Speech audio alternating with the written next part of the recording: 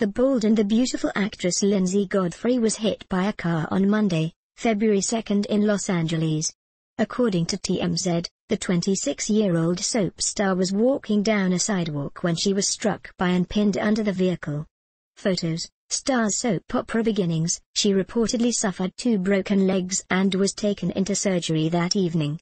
Photos, Celeb Health Scares, Godfrey's co-star Katherine Kelly Lang, who plays Brooke Logan on the soap, tweeted, sending good thoughts and prayers and healing energy to at Linsey Godfrey. I hope surgery goes well and hope to see you back at work very soon. Photos, co-star couples. The actress is mom to seven-month-old daughter Ayla Deserin Adamson, whom she shares with her fiancé Robert Adamson, an actor on The Young and the Restless.